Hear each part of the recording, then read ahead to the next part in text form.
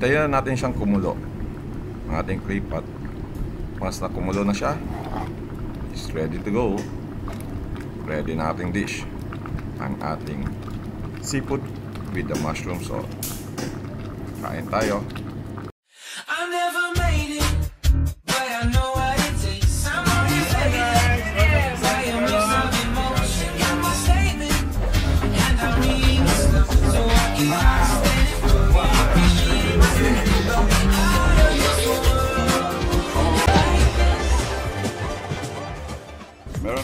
What's up, Mabisog? Welcome to Bisayan Tagalog Kitchen. So today, magluto tayo ng seafood with mushroom sauce. So lami kayo na guys. So anyway, mag-start na tayo ng pagluluto. First, maglagay tayo ng mantika sa mainit na kawali. At painitin natin ang ating mantika, pwede na tayong maglagay ng garlic.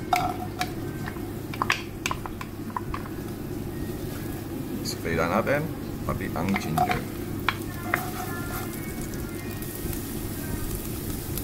At hindi rin natin kakalimutan ang sibuyas. Gold. Mahal ang sibuyas, kaya gold. Yan. Spray na natin siya hanggang mag golden brown.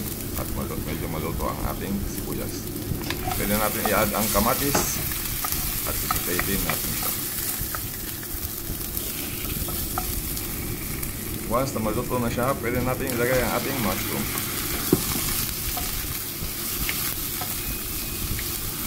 Halu-haluin, halu-haluin lang natin hanggang sa lumambot.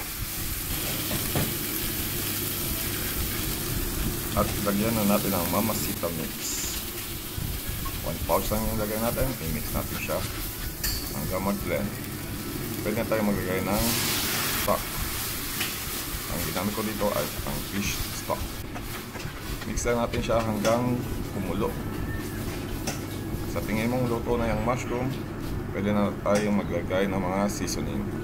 Meron tayong nor seasoning, abalone sauce, konti lang. Haluin natin.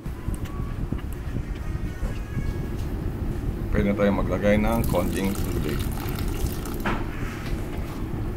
Nyo kung natutuyo ang sabaw, pwede kayo mag-add gradually ng water. And steam it for another 5 minutes. After 5 minutes na naluto ng ating mushroom stock o ang mushroom sauce, pwede natin ilagay ang halaan. So, shell, shellfish o halaan. Mix lang natin at i-add na lang natin ang ating hipon o ang ating shrimp. Just mix it lang hanggang sa maluto. Once na medyo luto ng ating seafood, ang shrimp at ang halaan, pwede na natin i-add ang onion at ang kamatis para pang architectural lang siya. Stir it, mix it, and then steam it hanggang sa maluto ang ating sauce. Pwede na natin lagyan ng kalamansi pang palasa. Mag-aalat na siya ng additional na asim sa ating dish. So, mix it. Mix lang natin ng mix it hanggang maluto siya at pwede na rin tikman. Once sakto ng lasa, pwede nating i-add ang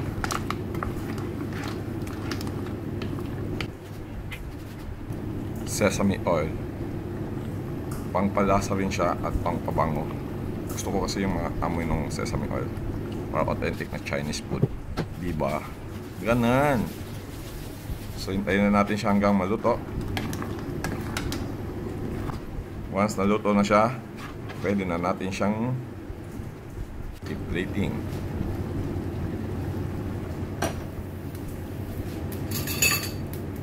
Lipat natin sa ating clay pot.